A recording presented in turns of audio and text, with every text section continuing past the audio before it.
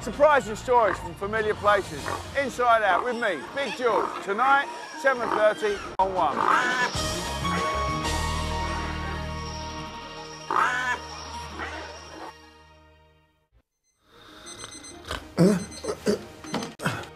Oh no!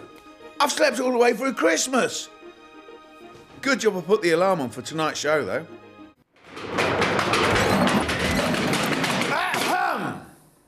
We're here to learn. All about Mashed potato. Sore point. Find out why in a minute. Good morning, class. Good morning, Big George. Here we are at Bedford High School for Girls, and who done this? Some people call it vandalism, others call it art. So what's the truth? We went to Northampton to enter the secret world of the graffiti writers. These days, royal secrets don't stay secret for very long. Wasn't like that in the good old days. Members of the royal family often came to Sandringham by train, arriving here at Wolferton Station on the edge of the estate. A perfect place for spotting royals.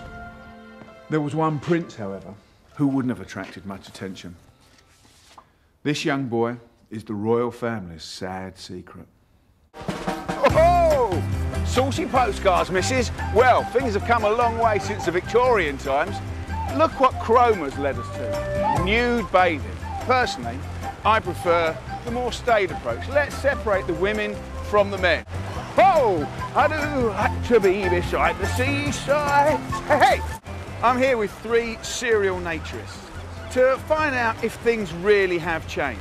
And one of them's a lady. So, as etiquette would dictate, I ought to dot my cap. So, what's it like being a naturist then? Nude rhymes with rude, rhymes with crude. So we get some bad press.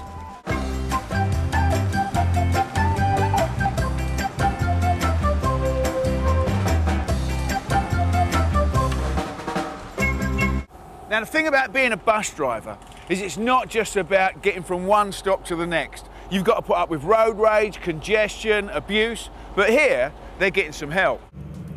Right, it's my turn to have a go. Whoa! And it's not as easy as you think. I mean, they put this on easy setting for me, and I tell you what, it really shows you the difference between driving an ordinary saloon car and driving a big vehicle like this. Right, let me just pull into this bus stop. Whoa! Gravity. But back in the real world, still here in Luton, and look at it. How can we get from A to B? Walk, cycle, bus, taxi, horse and cart? How can we make travel in the streets easier? www.bbc.co.uk slash inside out. Let's talk about it.